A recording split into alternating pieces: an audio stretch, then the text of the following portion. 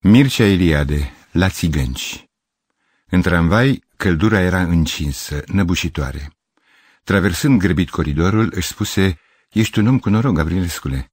Zărise un loc liber, lângă o fereastră deschisă, la celălalt capăt al vagonului. După ce se așeză, își scoase Batista și șterse îndelung fruntea și obrajii.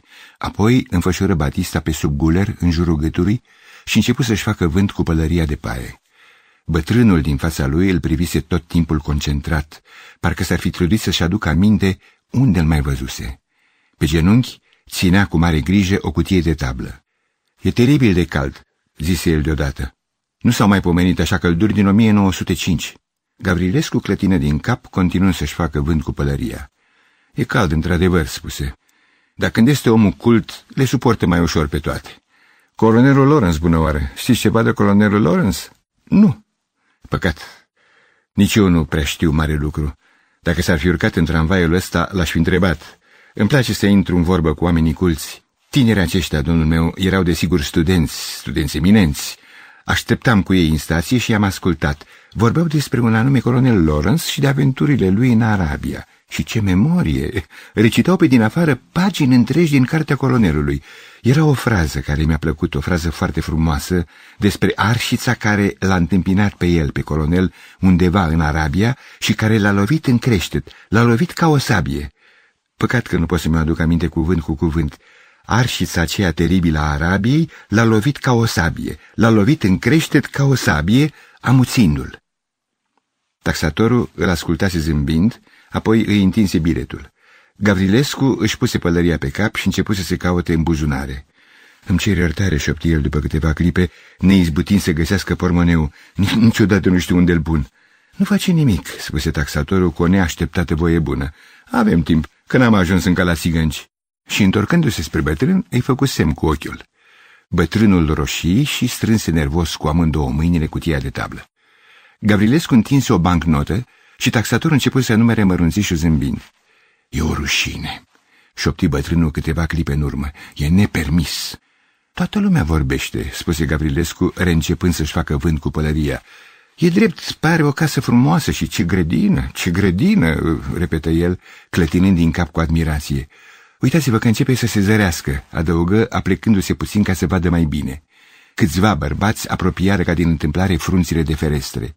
E o rușine, repetă bătrânul, privind sever înaintea lui. Ar trebui interzis. Sunt nuci bătrâni, continuă Gavrilescu, de aceea e atâta umbră și răcoare. Am auzit că nu începe să dea umbră abia după 30-40 de ani. O fi adevărat? Dar bătrânul se prefăcu că nu aude. Gavrilescu se întoarse către unul dintre vecini care privise îngândurat pe fereastră. Sunt nuci bătrâni de cel puțin 50 de ani, începu el. De aceea e atâta umbră. Pe o arșiță ca asta e o plăcere, ferice de ei. De ele, spuse vecinul, fără să-și ridice ochii. Sunt țigănci. Așa am auzit și eu, continuă Gavrilescu.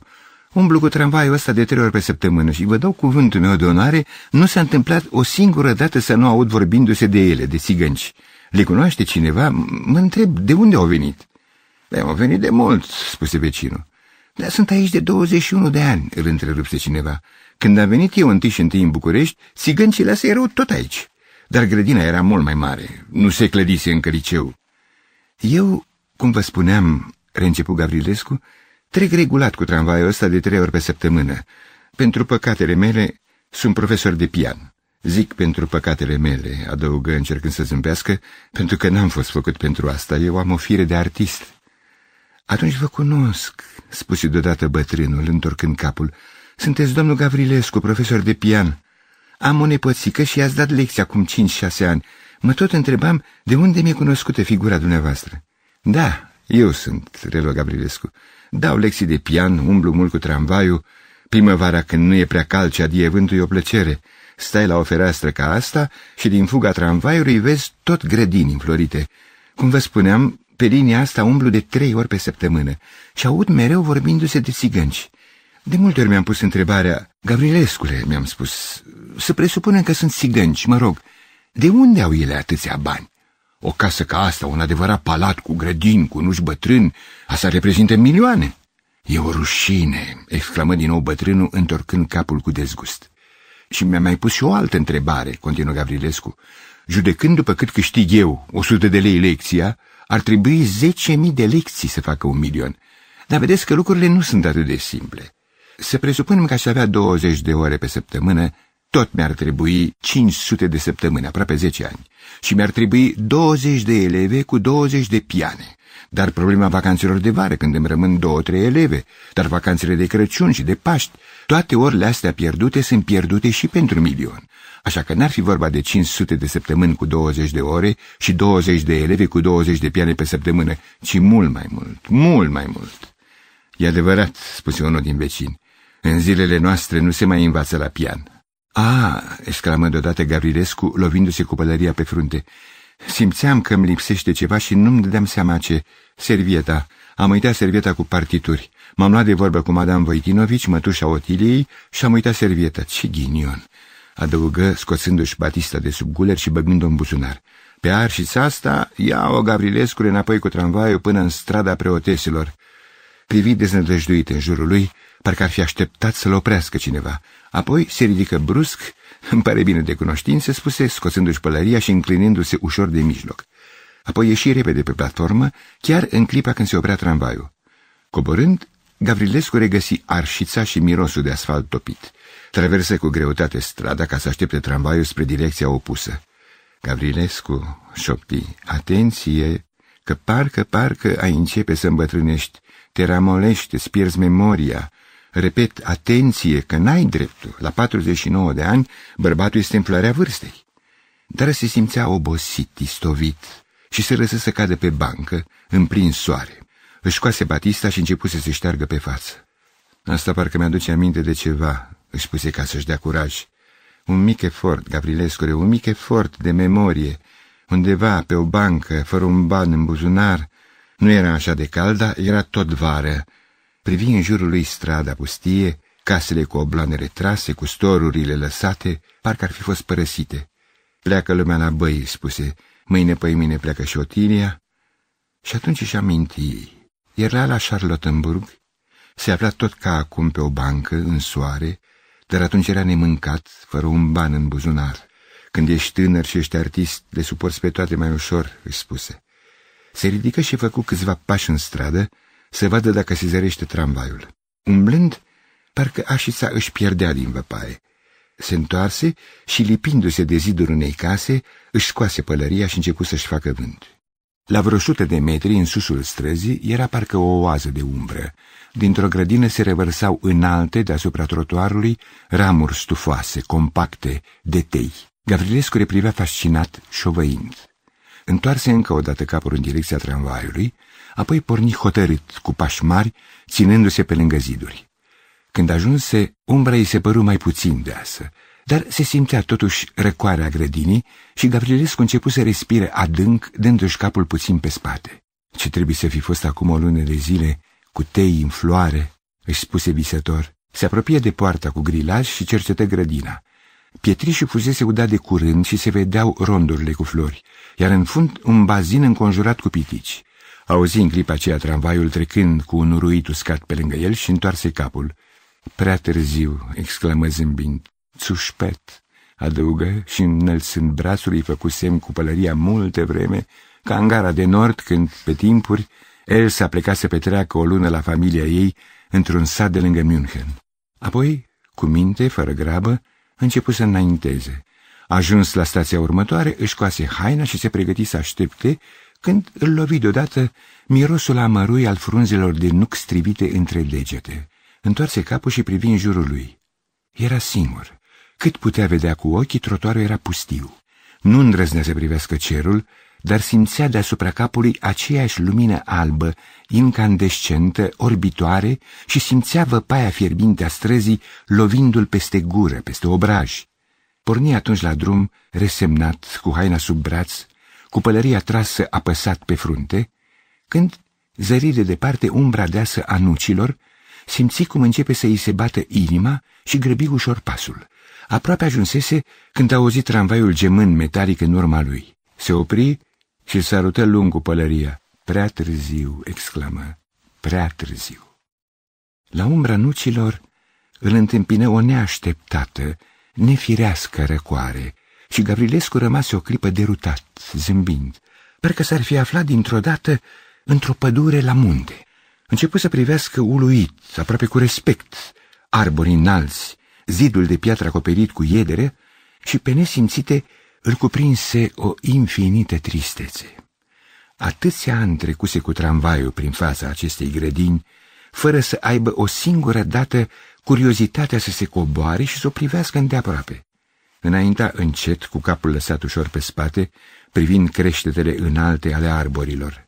Și deodată se trezi în fața porții și acolo, parcă ascunsă de mult pândindu-l, îi ieși în față o fată tânără, frumoasă și foarte oacheșă, cu salbă și cercei mari de aur. Apucându-l de braț, îl întrebă în șoaptă, Poftiți la țigănci?" Îi zâmbi cu toată gura și cu ochii și văzându-l că șovăie, îl trase ușor de braț în curte. Gavrilescu o urmă fascinat, dar după câțiva pași se opri, parcă ar fi vrut să spună ceva. Nu vreți la țigănci?" îl întrebă din nou fata, coborând și mai mult glasul. Îl privi scurt, adânc, în ochi. Apoi îi luă mâna și îl conduse repede către o căsuță veche pe care a nevoie ai fi putut-o bănui acolo, ascunsă între tufe mari de liliac și boz. Deschise ușa și îl împinse ușor înainte. Gavrilescu pătrunse într-o penumbră curioasă, parcă ferestrele ar fi avut geamuri albastre și verzi. Auzi depărtat, apropiindu-se tramvaiul, și uruitul metalic se păru atât de insuportabil încât își duse mâna la frunte. Când zgomotul se pierdu, descoperi lângă el așezată la o masă cu picioarele scurte, cu o ceașcă cu cafea înainte, o bătrână care îl privea curios, așteptând parcă să se trezească. Ce-ți dorește inima pe ziua de azi?" îl întrebă ea. O țigancă, o grecoaică, o nemțoaică?" Nu," o întrerupse Gavrilescu ridicând brațul, nu nemțoaică. Atunci o țigancă, o grecoaică, o evreică, relă bătrâna. Trei sute de lei, adăugă. Gavrilescu zâmbi cu gravitate. Trei lecții de pian, exclamă el, începând să se caute în buzunare, fără să mai socotim tramvaiul dus și întors. Bătrâna sorbi din cafea și rămase pe gânduri. Ești muzicant?" îl întrebea deodată. Atunci are să-ți plac. Sunt artist, spuse Gavrilescu, scoțând pe rând mai multe batiste umede dintr-un buzunar al pantalonilor și trecându-le metodic una câte una în celălalt buzunar. Pentru păcatele mele am ajuns profesor de pian, dar idealul meu a fost de totdeauna arta pură. Vă cer iertare, adăugă stânjenit, așezându-și pălăria pe măsuță și începând să depună în ea obiectele pe care le scotea din buzunare. Niciodată nu găsesc pormoneul când trebuie. Nu e grabă, spuse bătrâna. Avem timp, nu e nici trei. Vă cer iertare dacă vă contrazic, contrarupse Gavrilescu, dar cred că vă înșelați. Trebuie să fie aproape patru, la trei am terminat eu lecția cu Otilia. Atunci să știi că iar asta ceasul, șopti bătrâna, căzând din nou pe gânduri. Ah, în sfârșit, exclamă Gavrilescu, arătându-i triumfător pormoneu. Era acolo unde trebuia să fie. Numără bancnotele și le întinse. Să-l duci la bordei, spuse bătrâna, ridicând privirile. Gavrilescu se simțea apucat de mână și, întorcând speriat capul, regăsi lângă el fata care li spitise în poartă. O urmă intimidat, purtând sub braț pălăria încărcată de obiecte. Să reții bine minte, îi spuse fata, să nu le încurci o țigancă, o grecoaică, o ovreică. Traversară grădina, trecând prin fața clădirii înalte cu coperișul de olane roșii pe care o zărise Gavrilescu din stradă. Se opri și privindu-l o clipă adânc în ochi, izbucni într-un râs scurt, tăcut. Gavrilescu tocmai începuse să-și transporte diferitele obiecte din pălărie în buzunare. Ah, cu el, sunt artist. Dacă ar fi fost după mine, eu aș fi rămas aici, în boschetele astea, și arătă cu pălăria spre copaci. Îmi place natura. Și pe o arșiță ca asta să poți respira aer curat, în răcoarea asta, ca la munte. Dar unde mergem?" întrebă, văzând că fata se apropie de un gard de lemn și deschise portița. La bordei, așa a spus baba. Îl apucă din nou de braț și îl trase după ea. Intrară într-o grădină neîngrijită, cu trandafiri și crini pierduți printre bălării și tufe de măceș. Căldura începea să se simte din nou și Gavrilescu șovăii, dezamăgit. Îmi făcusem iluzii, spuse, Venisem pentru răcoare, pentru natură. Așteaptă până o intra în bordei, îl întrerupse fata, arătându-i cu brațul o căsuță veche, părând pe jumătate părăginită, care se deslușa în fundul grădinii.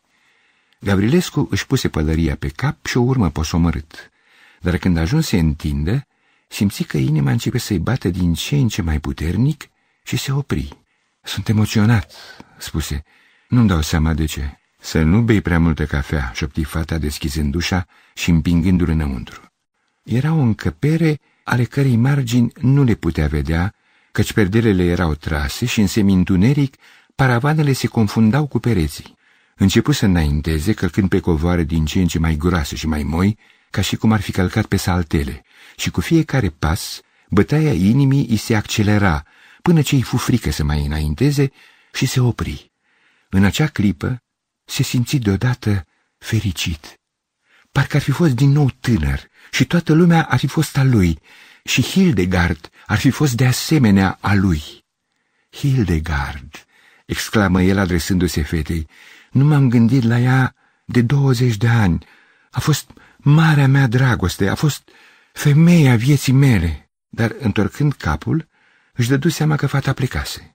Simți atunci în nări un parfum sfios și exotic și odată auzi bătând din palme și odaia a început să se lumineze într-un chip misterios, ca și cum perdelele ar fi fost trase încet, foarte încet, una după alta, lăsând să pătrundă treptat lumina după amiezei de vară. Dar Gavrilescu a avut timp să observe că nicio perdea nu se mișcase înainte de a da cu ochii de trei fete tinere, care se aflau la câțiva metri în fața lui, bătând ușor din palme și râzând. Așa ne-ai ales, spuse una din ele, o țigancă, o grecoaică, o ovreică. Dar să vedem dacă ai să ne ghicești, spuse a doua. Să vedem dacă ai să știi care-i țiganca, adăugă a treia. Gavrilescu lăsase să-i cadă pălăria de paie și le privea fix, împietrit, ca și cum nu l-ar fi văzut, ca și cum ar fi privit altceva, dincolo de ele, dincolo de paravane. Mi-e sete, șopti el deodată și își duse mâna la gât. Ți-a trimis baba cafea, spuse una din fete. Dispăru după un paravan și se întoarse cu o tavă rotundă de lemn pe care se aflau o ceașcă cu cafea și un ibric. Gavrilescu apucă ceașca și o dădu peste cap, apoi o întinse zâmbind. Mi-e teribil de sete, șopti. Asta o să fie fierbinte că e din ibric, spuse fata, umplându-i ceașca. Să o bei încet. Gavrilescu încercă să o soarbă, dar cafeaua era atât de fierbinte încât își fripse buzele și atunci așeză descurajat ceașca pe tavă. Mi-e sete, repetă el, dacă aș putea să beau puțină apă. Celelalte două fete dispărură după paravan și se întoarseră repede cu două tăvi pline. Ți-a trimis baba dulceață, spuse una din ele. Dulceață de trandafiri și șerbet, adăugă cealaltă. Dar Gavrilescu zări cana plină cu apă și, deși văzuse alături paharul gros de sticlă verde, brumată, apucă cu amândouă mâinile cana și o duse la gură. Bău de lung, gălgăind, dându-și capul pe spate. Apoi oftă, așeză cana pe tavă și scoase din buzunar una din batiste. Domnișoarelor, strigă el, începând să se șteargă pe frunte, tare mi-a fost sete. Auzisem de unul, colonelul Lawrence. Fetele se priviră între ele cu înțeles, apoi izbucniră toate în râs. Râdeau de asta dată din toată inima și din ce în ce mai tare. La început, Gavrilescu le privi mirat. Apoi fața îi se lumină de un mare zâmbet și în cele din urmă începu și el să râdă. Se șterse îndelung cu Batista. Dacă îmi dați voie să pun și eu o întrebare, vorbi el târziu, aș fi curios să știu ce v-a apucat. Râdeam că ne-ai spus domnișoare, vorbi una din ele, și aici suntem la țigănci. Nu e adevărat, o întrerupse alta. Nu te lua după ea că vrea să te păcălească. Râdeam că te-ai încurcat și ai băut din cană în loc să bei din pahar. Dacă ai fi băut din pahar, nu asculta, o întrerupse a treia. Vrea să te păcălească, să spun eu care e adevărul. Râdeam că ți-a fost frică.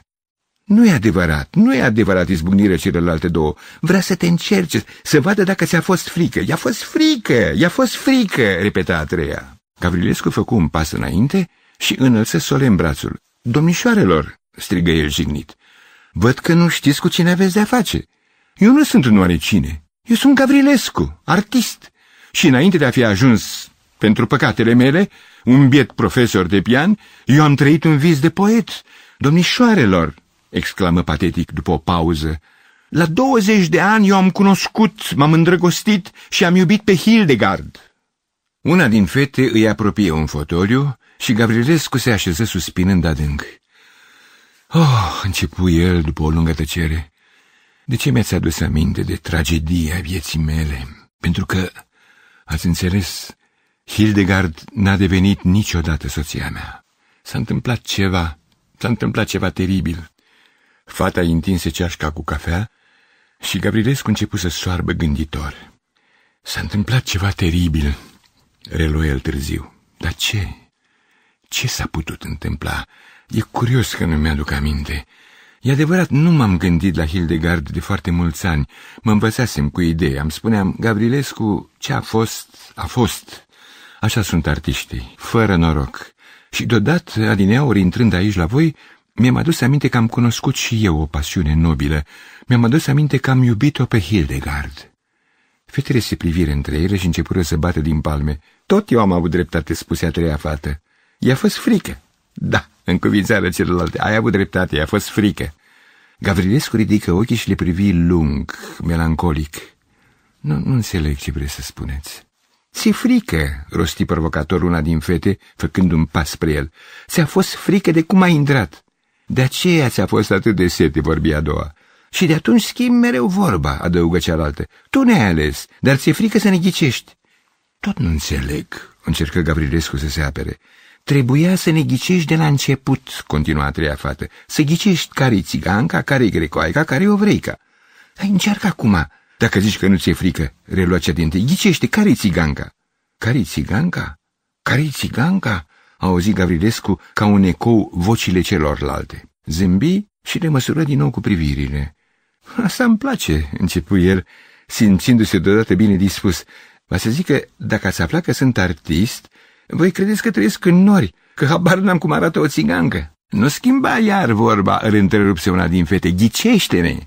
Va să zic că, relă Gavrilescu cu încăpățânare, voi credeți că n-am nici atâta imaginație încât să ghicesc cum arată o țigancă, mai ales când e tânără, frumoasă și goală căci firește le ghicise de cum dăduse cu ochii de ele. Cea care făcuse un pas spre el, pe de-a întregul goală, foarte neagră, cu părul și ochii negri, era fără îndoială țigancă. A doua, și ea goală, dar acoperită cu un voal verde pal, avea un trup nefiresc de alb și strălucitor ca sideful, iar în picioare purta papuci aurii. Asta nu putea fi decât grecoaica. A treia, fără îndoială, era ovreica. Avea o fustă lungă de catifea vișinie, care îi strângea trupul până la mijloc, lăsându-i pieptul și umerii goi, iar părul bogat, roșu aprins, era adunat și împletit savant în creștetul capului. Ghicește-ne, care-i țiganca, care-i țiganca?" strigară toate trei. Gavrilescu se ridică din fotoliu și, întinzând brațul spre fata goală și tuciurie din fața lui, rosti solemn. Pentru că sunt artist, primesc să fiu pus la încercare. Chiar la această încercare copilărească și răspund, tu ești țiganca. În clipa următoare se simți prins de mâini și fetele începură să-l învârtească în cerc strigând și șuierând și parcă vocile veneau de foarte aproape. N-ai ghicit, n-ai ghicit, auzi el ca prin vis. Încercă să se oprească, să se smulgă din mâinile acelea care îl învârteau în iureș ca într-o horă de ele, dar îi fu peste putință să se desprindă. Simțea în nări dogoarea trupurilor tinere și parfumul acela exotic, depărtat, și auzea în el, dar și în afara lui, pe covor, picioarele fetelor dănțuind. Simțea de asemenea că hora îl poartă ușor printre fotorii și paravane către fundul încăperii, dar după câtva timp renunță să se mai împotrivească și nu-și mai dădu seama de nimic. Trezindu-se, dădu cu ochii de fata oacheșă și goală îngenunchiată pe covor în fața divanului și se ridică în capul oaselor. Am dormit mult?" o întrebă. Nici n-ai apucat să dormi, îl liniști fata. Doar ce ai țipit. Dar ce Dumnezeu mi-ați făcut? întrebă el, ducându-și mâna la frunte. Mă simt cam amețit. Privi cu mirare în jurul lui. Parcă nu mai era aceeași încăpere și totuși recunoștea așezate asimetric printre fotolii, divane sau oglinzi, paravanele care îl impresionaseră de cum intrase. Nu-și putea da socoteală cum erau alcătuite unele foarte înalte, aproape atingând tavanul, s-ar fi confundat cu pereții dacă pe alocuri nu s-ar fi întins prin unghiuri ascuțite până în mijlocul odăii. Altele, misterios luminate, păreau a fi ferestre, pe jumătate acoperite cu perdele, deschizându-se spre coridoare interioare. Alte paravane, multicolor și curios pictate sau acoperite cu șaluri și broderii, care cădeau în falduri pe covoare, confundându-se cu ele, alcătuiau, s-ar fi spus, prin felul cum erau așezate, alcovuri de diferite forme și mărimi. Dar i-a fost de ajuns să-și oprească doar câteva clipe privirile asupra unui asemenea alcov, ca să înțeleagă că era o iluzie, că de fapt ceea ce vedea el erau două sau trei paravane separate care își împreunau imaginile într-o mare oglindă cu ape verzi aurii. În clipa când își dădu seama de iluzie, Gavrilescu simți că odaia începe să se învârtească în jurul lui și își duse din nou mâna la frunte. Ce Dumnezeu mi-ați făcut?" repetă el. Nu mai ghicit!" șopti fata cu un zâmbet întristat. Și totuși ți-am făcut semn cu ochiul că nu eu sunt țiganca, eu sunt grecoaica. Grecia, exclamă Gavrilescu, ridicându-se brusc în picioare, Grecia eternă. Parcă oboseala i-ar fi pierit ca prin farmec. Își auzea bătăile inimii accelerându-i se. O nemaipomenită beatitudine îi se risipi ca un fior cald în tot trupul. Când eram în dragoste cu Hildegard, continuă el exaltat, nu visam decât la asta, să facem împreună o călătorie în Grecia. Ai fost un prost, îl întrerupse fata. Nu trebuia să visezi, trebuia să o iubești. Aveam 20 de ani și ea nu împlinise încă 18. Era frumoasă, eram amândoi frumoși, adăugă. În acea clipă își dădu seama că era îmbrăcat într-un costum ciudat. Avea pantaloni largi, asemenea șalvarilor, și o tunică scurtă de mătase galben aurie. Se privi mirat în oglindă, parcă i-ar fi fost greu să se recunoască. Visasem să mergem în Grecia, reluă el mai târziu cu un glas mai potorit. Nu, era mai mult decât în vis, era ceva care începuse să fie real, căci hotărâsem să plecăm în Grecia foarte curând, după nuntă. Și atunci s-a întâmplat ceva. Dar ce Dumnezeu s-a întâmplat, se întrebă după o pauză, ducându-și mâinile la tâmple. Era tot așa, o zi caldă ca asta, o zi teribilă de vară. Am văzut o bancă și m-am îndreptat spre ea și atunci am simțit arșița lovindu-mă în creștet, lovindu-mă ca o sabie în creștetul capului. A, nu, nu, asta e povestea colonelului Lawrence. Asta m-a aflat azi dimineață de la studenți, așteptând tramvaiul. Ah, dacă aș avea un pian, exclamă el dezăndăjduit. Fata se înălță sprintră de pe covor și apucându-l de mână îi șopti, haide cu mine. Îl trase repede după ea, printre paravane și oglinzi, și după câtva timp grăbi într-atât pasul, încât Gavrilescu simți curând că aleargă și vrut să se oprească o clipă, să-și tragă răsuflarea, dar fata nu-l lăsă. E târziu, șoptia din fugă, și iarăși îi se păru că vocea e ca un șuierat care îl ajunge de foarte departe. Dar de data asta nu ameții deși trebuie să ocolească în fugă nenumărate divane și perne moi și cufere și lădiți acoperite cu covoare și oglinzi mari și mărunte, tăiate uneori în forme ciudate, care apăreau din senin în fața lor, parcă atunci ar fi fost așezate pe covor. Pe neașteptate, ieșind dintr-un fel de coridor, alcătuit din două rânduri de paravane, pătrunseră într-o încăpere largă și însorită. Acolo, rezemate de pian, îl așteptau celelalte două fete. Ce ați întârziat atât?" îl întrebă cea cu părul roșu. S-a răcit cafeaua." Gavrilescu își trase răsuflarea și, făcând un pas spre ea, ridica amândouă brațele în sus, ca și cum ar fi vrut să se apere. A, nu," spuse eu, nu mai beau. Am băut destulă cafea. Eu, dumișoarelor, deși fire de artist, duc o viață regulată. Nu-mi place să-mi pierd timpul prin cafenele. Da, ca și cum nu l-ar fi auzit, fata se întoarse spre grecoaică. De ce ați întârziat atât?" întrebea din nou. Și-a adus aminte de Hildegard. Nu trebuia să-l lași, vorbi a treia fată. Pardon, dați-mi voie, interveni Gavrilescu, apropiindu-se de pian. Aceasta este o chestiune strict personală. Nu mă poate nimeni împiedica. A fost tragedia vieții mele. Acum iar o să întârzie, spuse fata cu părul roșu. S-a încurcat din nou. Dați-mi voie, izbâgni Gavrilescu. Nu m-am încurcat deloc. A fost tragedia vieții mele. Mi-am adus aminte de ea cum am intrat aici. Ascultați, exclamă, apropiindu-se de pian. O să vă cânt ceva și o să înțelegeți. Nu trebuia să lași, auzi el pe cele două fete șoptin. Acum nu o să ne mai ghicească niciodată.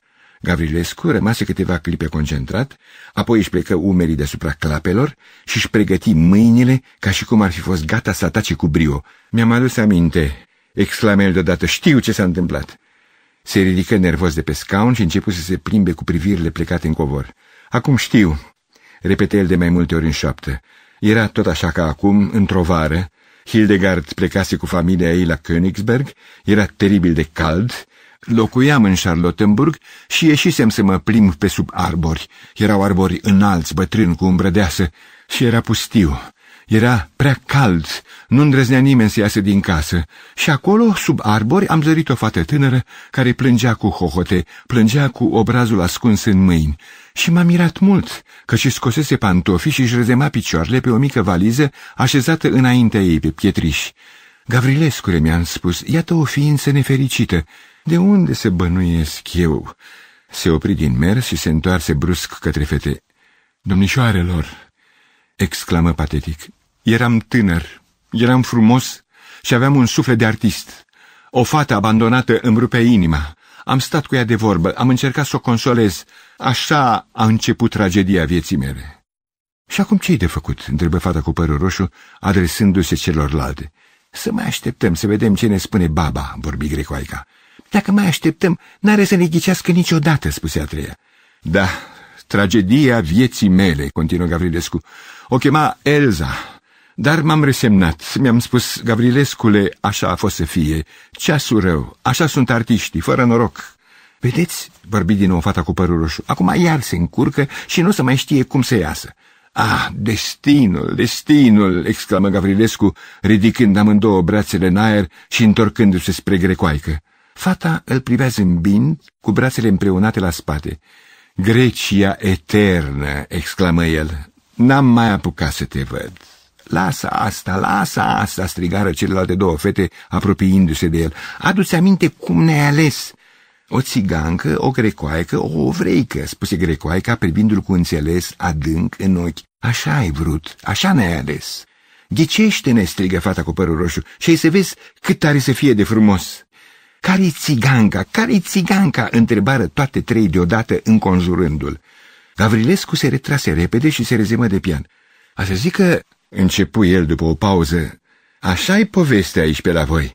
Artist sau muritor de rând, voi țineți bună și bună, să vă ghicesc țiganca. Și de ce mă rog, cine a dat ordin? ăsta e jocul nostru, aici, la țigănci, spuse Grecoaica.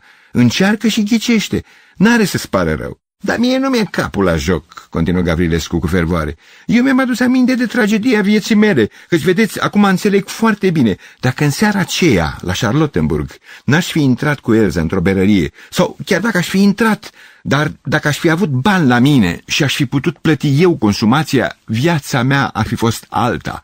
Dar s-a întâmplat că n-aveam bani și a plătit Elza. Și a doua zi am umblat peste tot să caut câteva mărci să-mi plătesc datoria, dar n-am găsit. Toți prietenii, toate cunoștințele erau plecate în vacanță, era vară, era teribil de cald. Iar e frică și șoptifata cu părul roșu, plegându-și privirile în covor. Ascultați că nu v-am spus tot, strigă patetic Gavrilescu.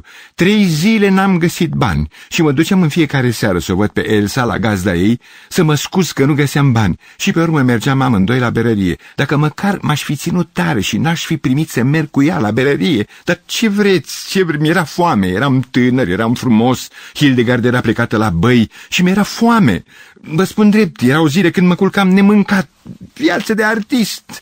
Și acum ce-i de făcut, întrebare fetele, că-și trece timpul, trece timpul. Acum? exclamă Gavrilescu, ridicând din nou brațele. Acum e bine și cald și îmi place la voi că sunteți tinere și frumoase și stați aici în fața mea, gata să mă serviți cu dulceață și cafea, dar nu mai este sete. Acum mă simt bine, mă simt perfect și îmi spun, Gavrilescule, fetele astea așteaptă ceva de la tine. Fă-le plăcerea. Dacă vor să le ghicești, ghicește-le. Dar atenție, atenție, Gavrilescule, că dacă iar greșești, te prinde în hora lor și nu te mai deștepți până la ziua. Ocoli zâmbind pianul în așa fel, încât să-l aibă pavăză între el și fete. Va să zic că voi vreți să vă spun care-i țiganca. E bine, am să vă spun. Fetele se aliniară emoționate, fără să scoată un cuvânt, privindu-l în ochi. Am să vă spun, reluă el după o pauză. Apoi întinse brusc, melodramatic, brațul către fata acoperită cu voalul verde pal și așteptă. Fetele împietriră, ca și cum nu l-ar fi venit să creadă. Ce are?" întrebă târziu cea cu părul roșu. De ce nu poate să ghicească?" I s-a întâmplat ceva," spuse Grecoaica.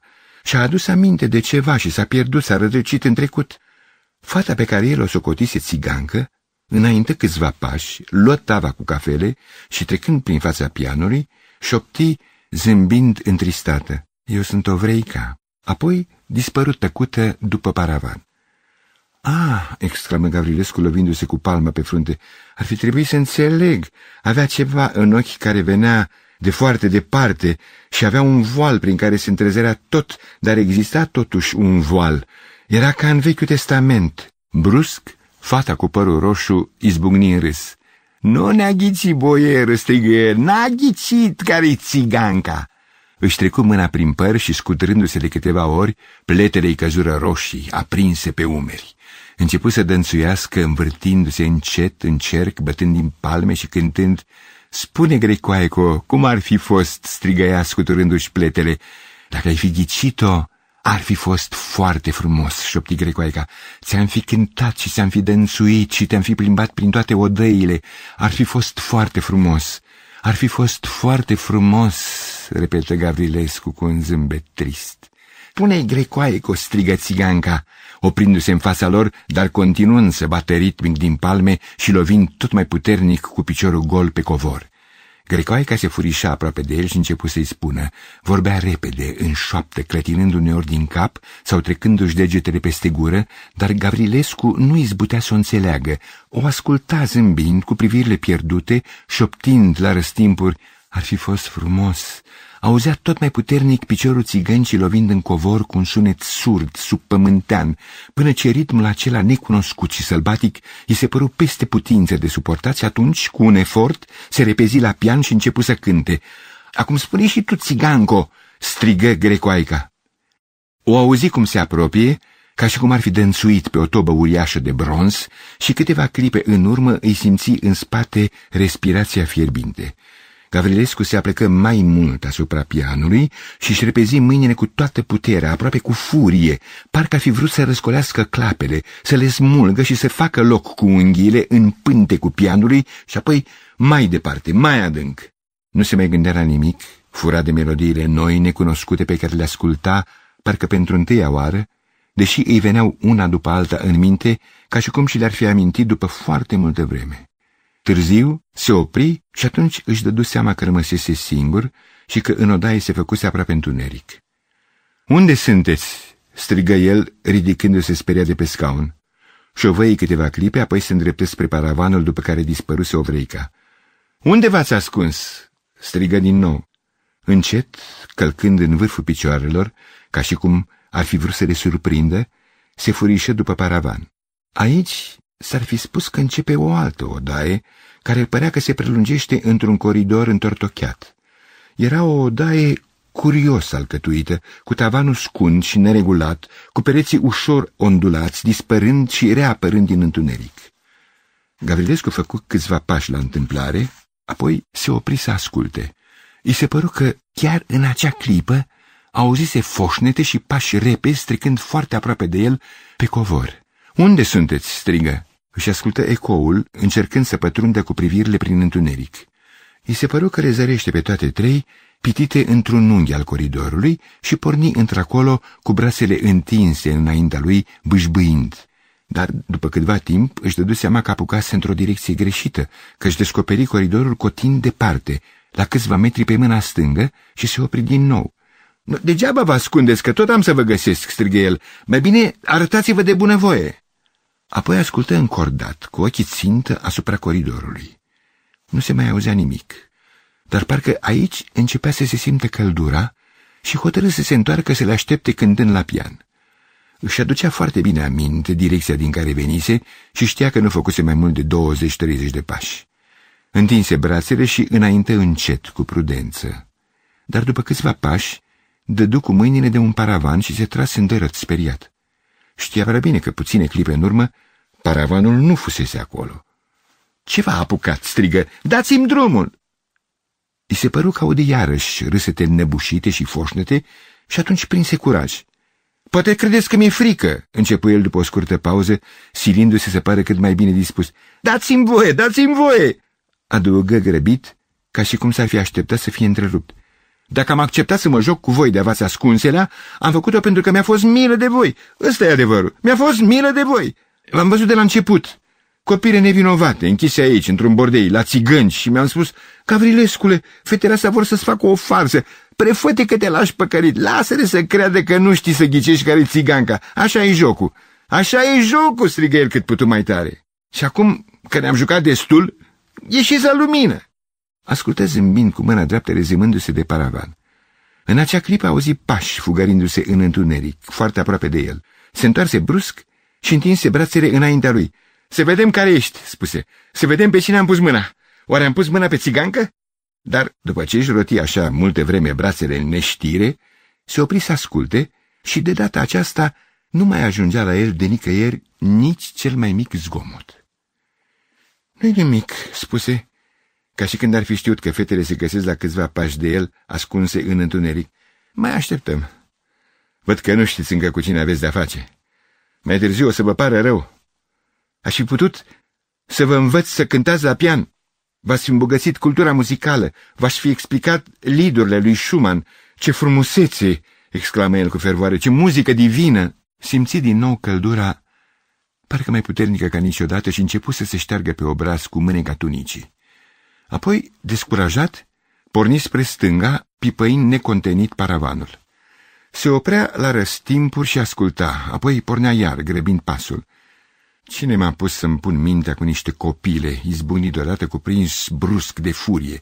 Pardon, am spus copile din gentilețe, voi sunteți altceva.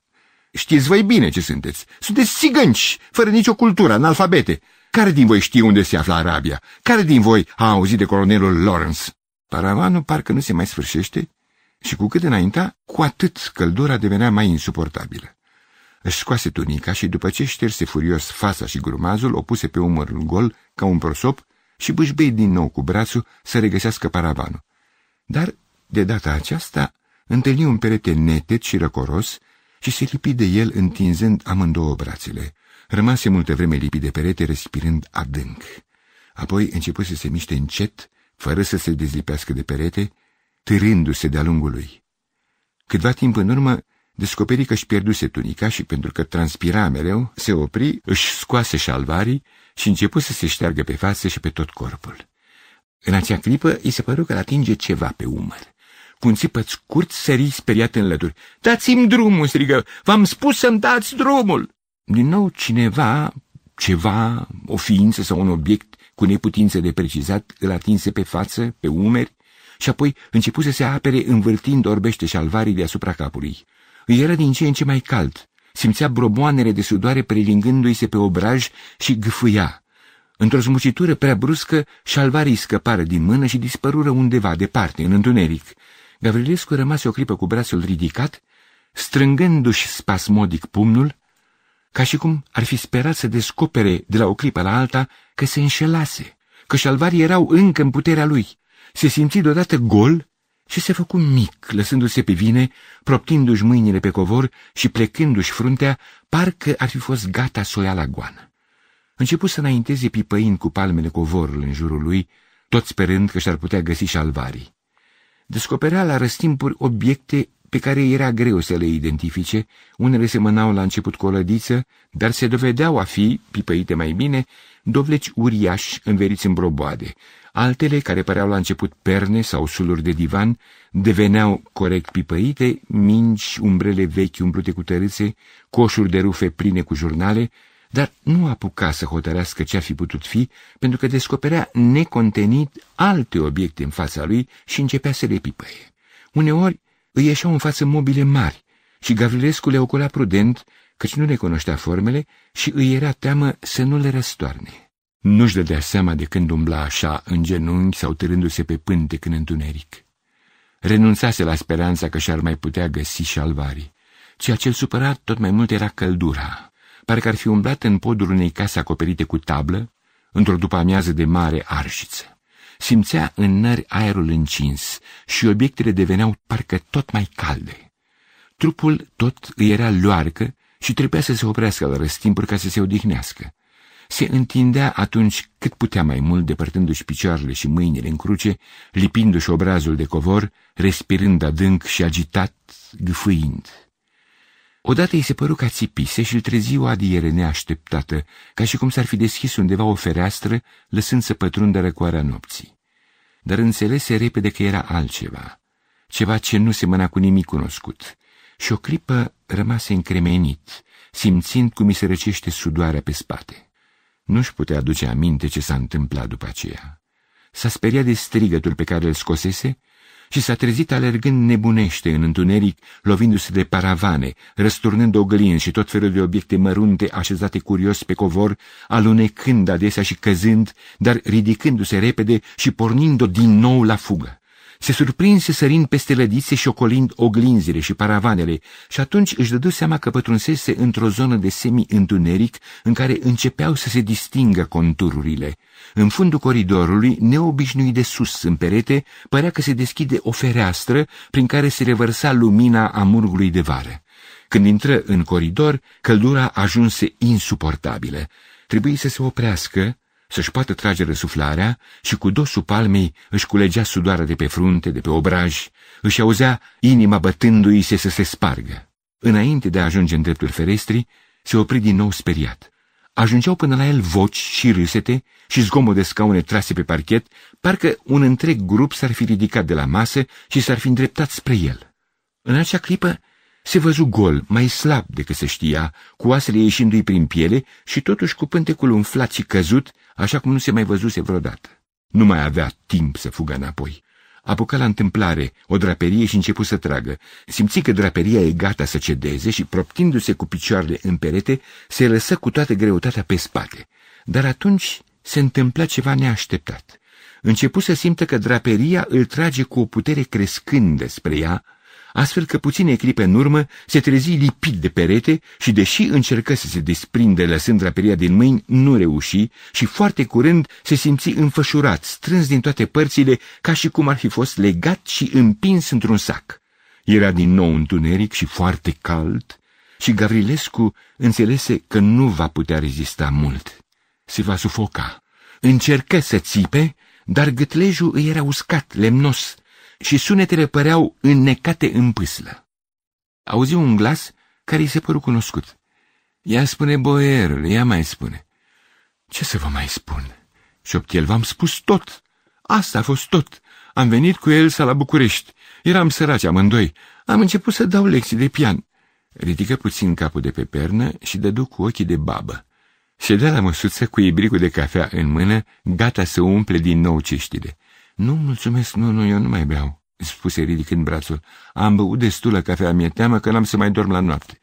Baba își umplu ceașca, apoi puse ibricul pe un colț al măsuței. Ea mai spune, stăruia, ce ai mai făcut, ce s-a mai întâmplat? Gabrielescu rămase multă vreme pe gânduri, făcându-și vânt cu pălăria. Apoi am început să ne jucăm de avați ascunserea, vorbi deodată cu un glas puțin schimbat, puțin sever, Firește, ele nu știau cu cine au de-a face. Eu sunt un om serios, sunt artist, profesor de pian. Eu venisem aici din simplă curiozitate. Mă interesează lucrurile noi, necunoscute. Mi-am spus, Gavrilescule, iată o ocazie să-ți îmbogățești cunoștințele. N-am știut că e vorba de jocuri naive, copilărești. Vă închipuiți, m-am văzut deodată gol și auzeam voce. Eram, eram sigur că dintr-un moment în altul... Înțelegi ce vreau să spun. Baba clătină din cap și sorbi penderete din cafea. Ce ți-am mai căutat pălăria, vorbia. Au răscorit fetele tot bordeiul până au dat de ea. Da, recunosc că a fost vina mea, continuă Gabrilescu. Nu știam că dacă nu le ghicesc la lumina zilei va trebui să le caut, să le prind și să le ghicesc pe întuneric. Nu-mi spusese nimeni nimic și repet că m-am văzut gol și am simțit draperia strângându-se în jurul meu ca un giulgiu, vă dau cuvântul meu de onoare că era ca un giulgiu. Ce-am mai pătimit până te-am îmbrăcat, spuse baba, că nu voiai deloc să te lași îmbrăcat. Nu vă spun, draperia aceea era ca un giulgiu, mă strângea din toate părțile, mă înfășurase și mă strângea de nu mai puteam respira. Și era o căldură, exclamă, făcându-și mai tare vânt cu pălăria. Mă mir că nu m-am sufocat. Da, da, a fost foarte cald, spuse baba. În acea clipă se auzi depărtat huruitul metalic al tramvaiului. Gavrilescu își duse mâna la frunte. A, exclamă, ridicându-se a nevoie de pe sofa. Cum trece timpul? M-am luat cu vorba și din una în alta am uitat că trebuie să mă duc până în strada preoteselor. Închipuiți-vă că mi-am uitat servieta cu partituri. Îmi spuneam azi după amiază, Gavrilescule, atenție, că parcă, parcă... Da, îmi spuneam ceva cam în felul acesta, dar nu mi-aduc bine aminte ce. Făcu câțiva pași spre ușă, apoi se întoarse, plecă puțin din umeri și spuse salutând cu pălăria, mi-a părut bine de cunoștință. În curte rămase neplăcut surprins. Deși soarele apusese, era mai cald decât fusese în plină după amiază. Gavrilescu își scoase haina și o puse pe umăr și, continuând să-și facă vânt cu pălăria, traversă curtea și ieși. Depărtându-se de zidul adumbrit de arbori, regăsi căldura încinsă a caldarâmului și mirosul de praf și asfalt topit. Umbla abătut cu umerii căzuți cu privirile risipite înaintea lui. În stație nu mai aștepta nimeni. Când a auzit tramvaiul apropiindu-se, înălță brațul și făcu semn cu mâna. Vagonul era aproape gol și toate ferestrele deschise. Se așeză în fața unui tânăr în cămașă și, pentru că văzut taxatorul apropiindu-se, începu să-și caute portofelul. Îl găsi mai repede decât s-ar fi așteptat. E ceva nemaipomenit, exclamă. Vă dau cuvântul meu de onoare că e mai rău ca în Arabia, dacă ați auzit cumva de colonelul Lawrence. Tânărul zâmbi distrat, apoi întoarse capul spre fereastră. Cam cât să fie ceasul? întrebă Gavrilescu pe taxator. Opt și cinci. Oh, ce ghinion! Am să le găsesc la masă, au să crede că tocmai de-aia am venit atât de târziu ca să le găsesc la masă. Înțelegeți, nu-mi convine să creadă că... Înțelegeți ce vreau să spun. Pe de altă parte, dacă le spun unde am fost, Madame Voitinevici, o persoană curioasă, are să mă ține până la miezul nopții ca să-i povestesc. Taxatorul îl privise zâmbind și făcu semn cu ochiul tânărului. Spuneți că ați fost la țigăni și o să vedeți, o să vă mai întrebe nimic. A, nu, imposibil, o cunosc bine, e o femeie curioasă, mă, nu, mai bine nu spun nimic. La stația următoare se urcară câteva perechi tinere și Gavrilescu se mută foarte aproape de ei ca să poată asculta mai bine conversația. Când socotică poate intra în vorbă, ridică ușor brațul. Dacă îmi dați voie, am să vă contrazic. Eu, pentru păcatele mele, sunt profesor de pian, dar n-am fost făcut pentru asta. Strada preoteselor, auzi el taxatorul și sculându-se brusc, salută și traversă grăbit coridorul. Porni agale, făcându-și vânt cu pălăria. În dreptul numărului 18 se opri, își aranjă cravata, își trecu mâna prin păr și intră. Urcă în ce scările până la etajul întâi, apoi sună apăsat. Câteva clipe în urmă, îl ajunse tânărul din tramvai. Ce coincidență!" exclamă Gavrilescu, văzându-l că se oprește lângă el. Ușa se deschise brusc și în prag apăru o femeie încă tânără, dar cu obrazul palid și veștejit. Avea un șor de bucătărie și în mâna stângă ținea un borcan de muștar. Dând cu ochii de Gavrilescu, se încruntă. Ce poftiți?" întrebă. Mi-am uitat servieta, începu Gavrilescu intimidat. M-am luat cu vorba și am uitat-o. Am avut treburi prin oraș și n-am putut veni mai devreme. Nu, nu înțeleg, ce fel de servietă? Dacă s-a așezat la masă, nu o deranjați, continuă pripit uh, Gavrilescu. Știu unde am lăsat-o, e lângă pian. Și dădu să intre, dar femeia nu se clindi din prag. Pe cine căutați, dumneavoastră, domnule? Pe doamna Voitinovici. Eu sunt Gavrilescu, profesor de pian al Otiliei. N-am avut plăcerea să vă întâlnesc, adăugă politicos. Ați greșit adresa, spuse femeia, aici e numărul 18. Dați-mi voie, început din nou Gavrilescu zâmbind. Cunosc apartamentul acesta de cinci ani. Pot spune că fac parte din familie, vin aici de trei ori pe săptămână. Tânărul ascultase conversația rezemat de perete. Cum spuneți că o cheamă? îl întrebă. Doamna Voitinovici, e mătușa Otiliei, Otilia Pandele. Nu stă aici, îl întrerupse tânărul. Aici locuim noi, familia Georgescu. Dânsa, doamna de față, e soția tatălui meu, e născută Petrescu. Te rog să fii politicos, spune femeia, și să nu-mi vii acasă cu tot felul de persoane. Apoi întoarse spatele și dispăru în coridor. Vă cer scuze pentru această scenă, spuse tânărul încercând să zâmbească. Ea treia soția tatălui meu. Poartă pe umerii ei toate erorile căsătoriilor anterioare. Cinci băieți și o fată. Gavrilescu îl ascultă tulburat, făcându-și vânt cu pălăria. Regret, începu el, regret foarte sincer, n-am voie să o supăr, e drept, e ora cam nepotrivită, e ora mesei, dar vedeți, mâine dimineața am o lecție în dealul Spirii, am nevoie de servietă, am cernii doi și trei acolo, sunt partiturile mele, cu interpretările mele personale însemnate pe margini, de aceea le port întotdeauna cu mine. Tânărul îl privea continuând să zâmbească. Nu cred că m-am făcut înțeles, îl întrerupse el. Ceea ce vreau să vă spun e că aici locuim noi, familia Georgescu, locuim de patru ani. Imposibil, exclamă Gavrilescu. Am fost aici acum câteva ceasuri, am avut lecția cu Otilia de la 9 la 3. Apoi m-am luat cu vorba cu doamna Voitinovici. În strada preotesilor, 18 etajul întâi, se miră tânărul zâmbind abuzant. Exact, cunosc foarte bine casa. Vă spun unde e pianul, vă duc acolo cu ochii închiși, în salon, lângă fereastră. Noi nu avem pian, spuse tânărul. Încercați la alt etaj, deși vă asigur că nu o să găsiți nici la etajul 2, acolo locuiește familia capitan Zanfir. Încercați la etajul 3. Îmi pare rău, adăugă văzând că Gavrilescu l-asculta speriat, făcându-și tot mai agitat vând cu pălăria. Mi-ar fi plăcut să existe și o otilie în casa asta. Gavrilescu șovăi, privindu-l adânc în ochi. Vă mulțumesc, spuse el târziu, să încerc și la etajul trei, deși vă dau cuvântul meu de onoare că pe la trei și un sfert eram aici și întinse brațul cu fermitate arătând spre coridor. Începu să urce răsuflând greu. La etajul trei își șterse îndelung fața cu una din batiste, apoi sună. Auzi pași mărunți și curând deschise ușa un băiețel de vreo cinci-șase ani. Ah, exclamă Gavrilescu, mi teamă că am confundat etajele. Căutam pe doamna Voitinovici. Atunci apăru în ușă o femeie tânără care îi zâmbi. Doamna Voitinovici locuia la etajul 1, spuse, dar s-a mutat, a plecat în provincie. A plecat de mult? O, da, de mult, la toamnă se împlinesc opt ani. A plecat de îndată ce s-a căsătorit Otilia. Gavrilescu își duse mâna la frunte și începu să se frece. Apoi căută privirile femeii și zâmbi cât putu mai blajin.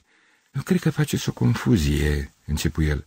Eu vă vorbesc de Otilia Pandele, din clasa șasea de liceu, nepoata doamnei Voitinovici. Le-am cunoscut bine pe amândouă, vorbi femeia. Când ne-am mutat noi aici, Otilia tocmai se rogodise. Știți, a fost la început încurcătura aceea cu maiorul.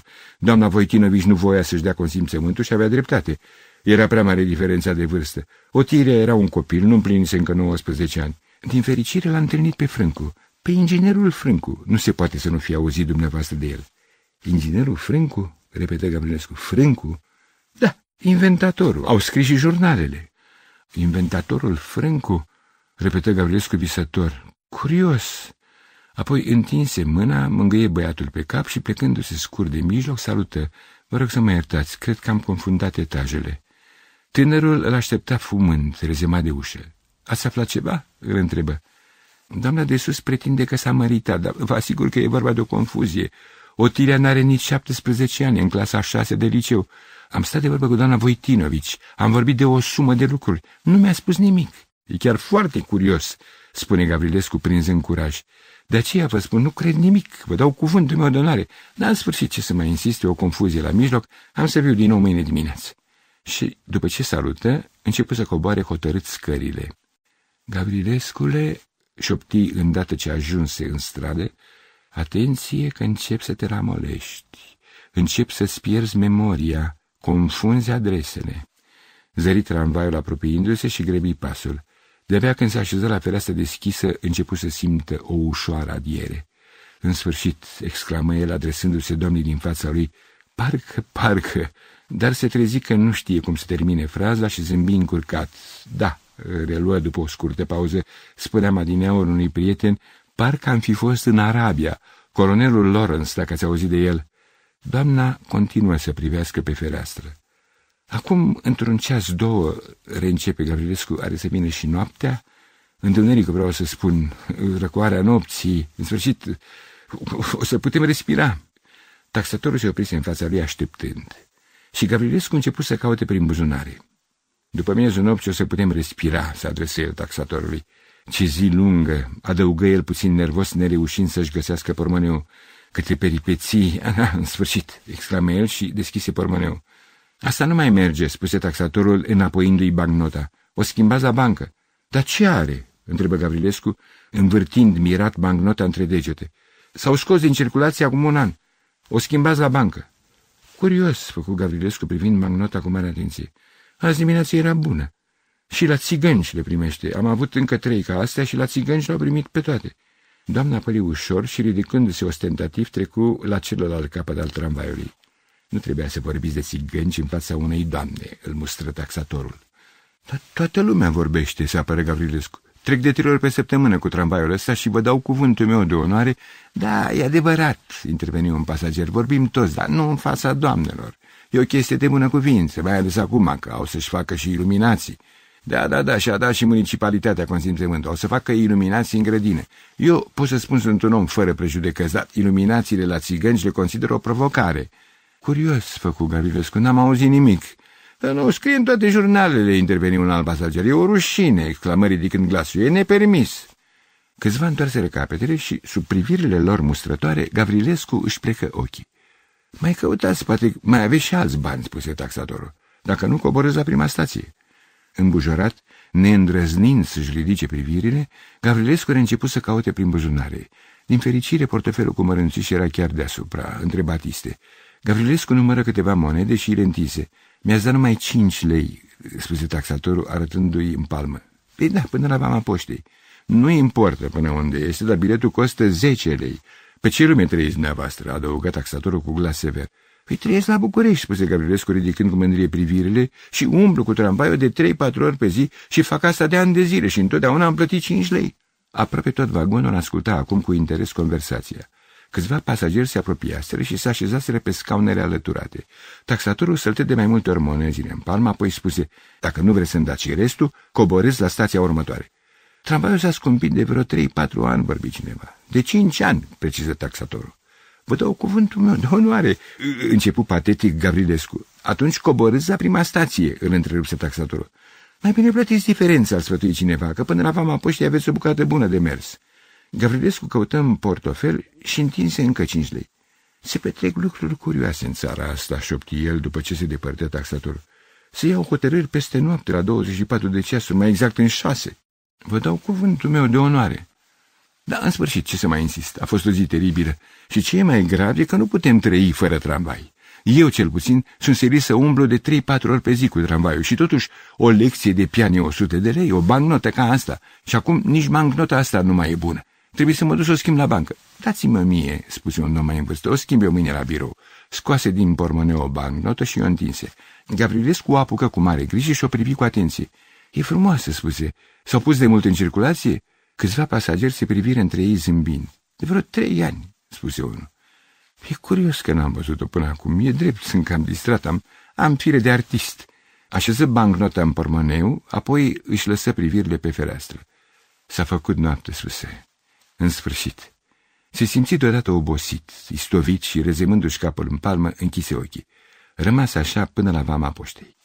Încercase zadarnic să deschidă ușa cu cheia, apoi apăsase îndelung pe butonul suneriei și după ce bătuse de mai multe ori, cât mai puternic, cât mai încet, în ferestrele sufrageriei, se reîntoarse în fața ușii de la intrare și început să bată cu pumnul. Curând, la fereastra deschisă a unei case vecine a apărut din întuneric un bărbat în cămașă de noapte și strigă răgușit. Ce e scandalul ăsta, domnule? Ce te-a apucat?" Scuzați, făcu Gavrilescu, nu știu ce s-a întâmplat cu nevastă mea, nu răspunde și s-a stricat și cheia, nu pot să intru în casă. Dar de ce să intri? Cine ești dumneata? Gavrilescu se îndreptă spre fereastră și salută. Deși suntem vecini, începu el, nu cred că am avut plăcerea să vă cunosc. Numele meu e Gavrilescu și locuiesc aici cu soția mea, Elsa. Atunci ați greșit adresa, aici locuiește domnul Stănescu și nu e acasă, e plecat la băi. Dați-mi voie, îl întrerupse Gavrilescu. Îmi pare rău că trebuie să vă contrazic, dar cred că faceți o confuzie. Aici, la numărul 101, locuim noi, Elsa și cu mine, locuim de patru ani. Dar încetați, domnilor, odată, că nu putem dormi, strigă cineva. Ce Dumnezeu? Pretinde că locuiește în casa domnului Stănescu. Nu pretind, protestă Gavrilescu. Aici e casa mea și nu permit nimănui. Și înainte de toate vreau să știu unde este Elsa, ce s-a întâmplat cu ea. Întrebați la comisariat, vorbi cineva de la etaj. Gavrilescu ridică speriat capul. De ce la comisariat? Ce s-a întâmplat? strigă el emoționat. Știți ceva? Nu știu nimic, dar vreau să dorm. Și dacă dumneavoastră o să stați toată noaptea de vorbă, îmi dați voie, făcu Gavrilescu, și mie mi-e somn. Sunt, pot spune, foarte obosit. Am avut o zi teribilă, călduri ca în Arabia, dar, dar nu înțeleg ce s-a întâmplat cu Elsa. De ce nu răspunde? Poate i s-o fi făcut rău și o fi leșinat. Și reîntorcându-se în fața ușii de la numărul 101, început din nou să bată cu pumnul tot mai puternic. Nu ți-am spus, domnule, că nu e acasă, că domnul Stănescu a plecat la băi? Chemați poliția!" se auzi o voce ascuțită de femeie. Chemați imediat poliția!" Gavrilescu se opri brusc și se rezemă de ușă, respirând greu. Se simți deodată foarte obosit și se așeză pe o treaptă. Își prinse fruntea în palme. Gavrilescule, șopti, atenție că s-a întâmplat ceva foarte serios și nu vor să-ți spună. Ține-te bine. Fă un efort de memorie. Madame Trandafir, exclamă el, trebuia să mă gândesc de la început. Madame Trandafir, strigă ridicându-se și îndreptându-se spre casa din față. Madame Trandafir! Cineva care rămăsese la fereastră spuse cu glas mai potorit, Lăsați-o să doarmă, săraca. Nu, dar e urgent, lăsați-o să doarmă, Dumnezeu să o ierte, că a murit de mult. Imposibil, făcu Gavrilescu. Am vorbit cu ea azi dimineață. O confundați poate cu soră sa, Ecaterina. Madame Trandafir a murit acum cinci ani. Gavrilescu rămase o clipă împietrit, apoi băgă mâinile în buzunare și scoase câteva batiste. Curios, șopti el târziu. Se întoarse a gale și urcând cele trei trepte de la numărul 101, își luă pălăria și și-o puse pe cap. Mai încercă odată clanța, apoi coborâ și se depărtă șovăitor. Umbla încet, fără gânduri, ștergându-se în neștire cu Batista.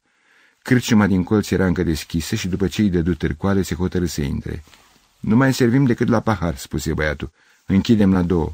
La două? se miră Gabrielescu. Dar cât e ceasul acum? E două, e chiar două trecute. E teribil de târziu, șopti Gabrielescu, mai mult pentru sine. Apropiindu-se de tejghea, îi se păru că recunoaște figura cărciumarului și inima a început să-i bată. Nu sunteți dumneavoastră domnul Costică?" întrebă. Eu sunt," spuse cărciumarul privindu-l lung. Parcă v-aș cunoaște," adăugă după o pauză. Parcă, parcă," începu Gavrilescu, apoi își pierdu firul și tăcu zâmbind încurcat. Am fost pe aici de mult, reluă el, aveam niște prieteni, Madame Trandafir, da, Dumnezeu să o ierte, Madame Gavrilescu, Elza, e, ce-a mai fost și cu dânsa, îl întrerupse cârciumarul, nici până în ziua de azi nu se știe ce s-a întâmplat. L-a căutat poliția câteva luni și n-a putut să dea de el nici viu, nici mort. Parcă ar fi intrat în pământ. Biata Madame Elsa l-a așteptat ce l-a așteptat și pe urmă a plecat la familia ei în Germania. Și-a vândut lucrurile și a plecat. N-aveau cine știe ce, erau săraci. Mă bătea gândul să cumpăr eu pianul. Va să zic că a plecat în Germania, spuse Gavrilescu visător. A plecat de mult? De mult, de mult, la câteva luni după ce a dispărut Gavrilescu.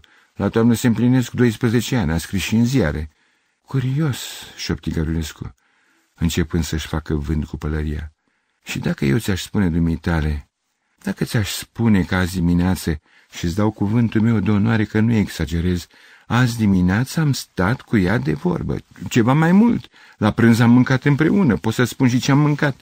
S-o fi întors, vorbi cârciumarul, privindu-l nedumerit. Nu, nu s-a întors, n-a plecat deloc. Era mijloc o confuzie.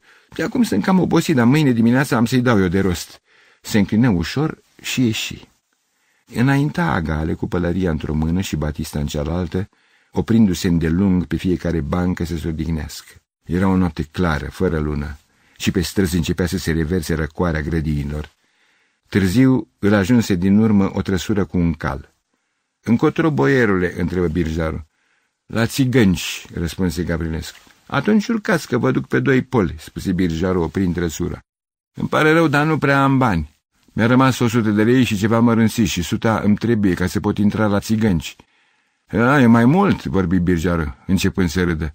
Nu va ajunge o sută de lei. Eu atât am plătit azi după amiază. Noapte bună, adăugă el pornind din nou. Dar trăsura se ținea după el la pas. Asta e regina nopții, spuse birjarul aspirând adânc. Asta e din grădina domnului general, de-aia îmi place să trec pe aici noaptea. Am mușterii, n-am mușterii, eu trec pe aici în fiecare noapte. Grozav ce-mi plac florile.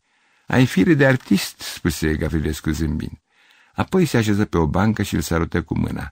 Dar birjarul opri brusc trăsura și o aduse lângă el în dreptul băncii. Își scoase tabacherea și început să-și răsucească o țigară. Îmi plac florile, spuse. Caii și florile. În tinerețe am fost dricar. Ce frumusețe! Șase cai îmbrăcați în negru și muiați în aur și flori, flori, subedenie de flori.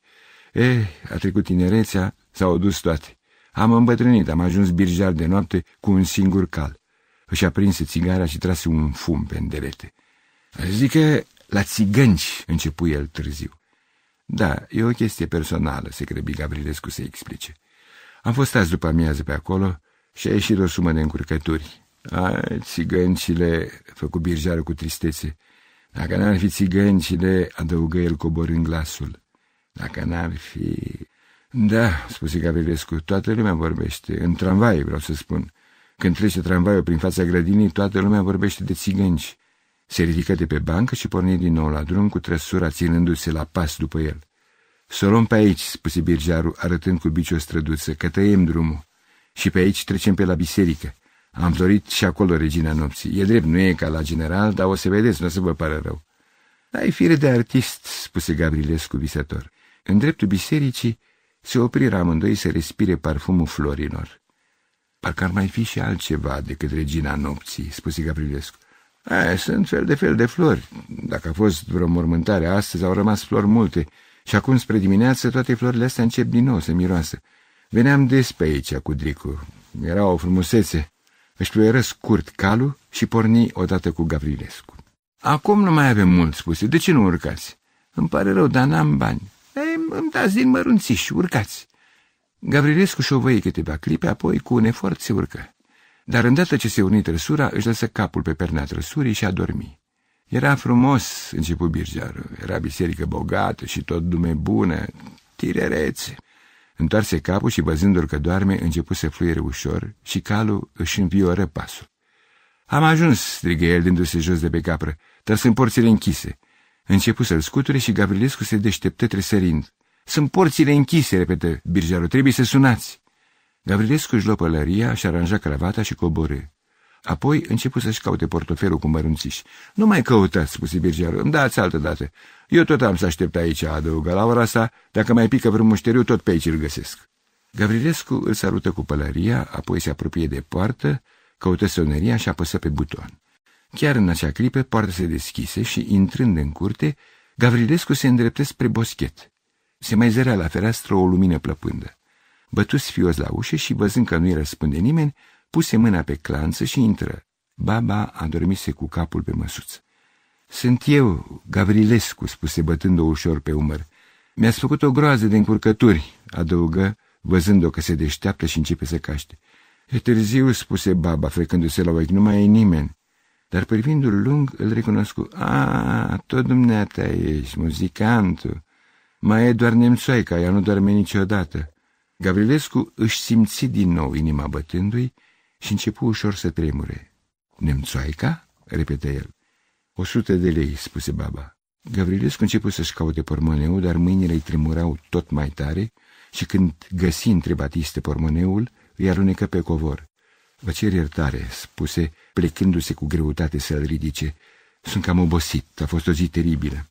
Baba luă bancnota, se ridică de pe scăuna și din prag îi arătă cu brațul casa cea mare. Vezi să nu te rătăcești, îi spuse, să te ții drept pe coridor și să numeri șapte uși. Și când o ajunge la a șaptea, să baze trei ori și să spui, eu sunt, m-a trimis baba. Apoi își opri un căscat, bătându-și gura cu palma și închise ușa. Respirând la nevoie, Gavrilescu se îndreptă încet spre clădirea care strălucea argintie sub stele. Urcă treptele de marmură, deschise ușa și rămase o clipă nehotărât. În fața lui se întindea un coridor slab iluminat și Gavrilescu simți din nou cum inima începe să îi se zbată, parcă ar fi stat să se spargă. Începu să înainteze, emoționat, numărând cu glas tare ușile pe lângă care trecea. Curând se trezi că numără 13, 14 și se opri dezorientat. Gavrilescule, șopti, atenție, că iar ai făcut o încurcătură, nu 13, nu 14, ci șapte, așa a spus baba, să numeri șapte uși. Voi să se întoarcă și să numere din nou, dar după câțiva pași se simți sleit de puteri și oprindu-se în fața primei uși la îndemână, bătut de trei ori și intră. Era un salon mare și simplu, aproape sărăcăcios mobilat, iar în dreptul ferestrei, privind spre grădină, se profila umbra unei fete tinere. Scuzați, începu Gavrilescu cu greutate, am numărat greșit. Umbra se dezlipi de la fereastră și se îndreptă spre el cu pași moi și un parfum uitat îi reveni deodată la mintire. Hildegard, exclamă, lăsând să-i cadă pălăria din mână. De când te aștept? spuse fata apropiindu-se. Te-am căutat peste tot. Am fost la berărie, șopti Gavrilescu. Dacă n-aș fi fost cu ea la berărie, nu s-ar fi întâmplat nimic. Sau dacă aș fi avut ceva bani la mine, dar așa a plătit ea, Elsa, și înțelegi, m-am simțit obligat. Și acum e, e, e prea târziu, nu-i așa? E foarte târziu. Ce importanță poate să aibă, spuse fata. Hai să mergem. Dar nu mai am nici casă, nu mai am nimic.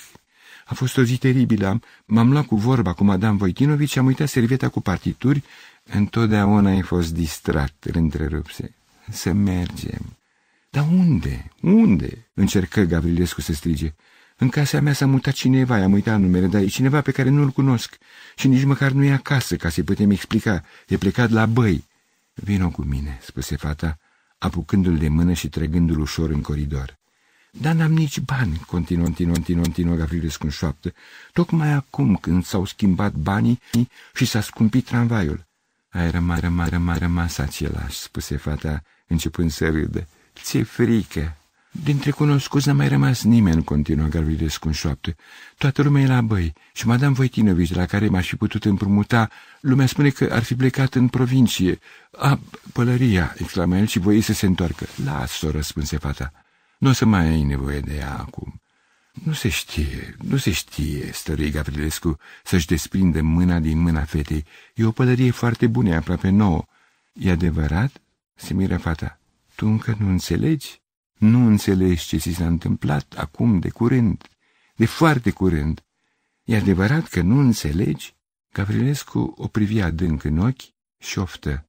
Sunt cam obosit, spuse. Iartă-mă, a fost o zi teribilă, dar acum parcă încep să mă simt mai bine. Fata îl trase ușor după ea. Traversară curtea și ieșiră fără să mai deschidă poarta. Birjarul îi aștepta moțăind și fata îl trase tot atât de ușor după ea în trăsură.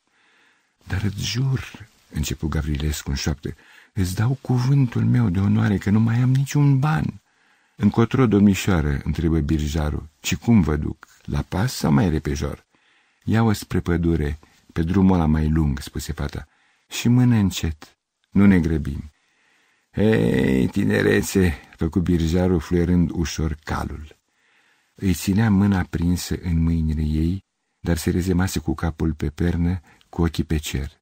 Gavrilescu o privea adânc, concentrat. Hildegard, începu el târziu, se întâmplă ceva cu mine și nu știu bine ce. Dacă nu te-aș fi auzit vorbind cu birjarul, aș crede că visez. Fata întoarse capul spre el și zâmbi. Toți visăm, spuse.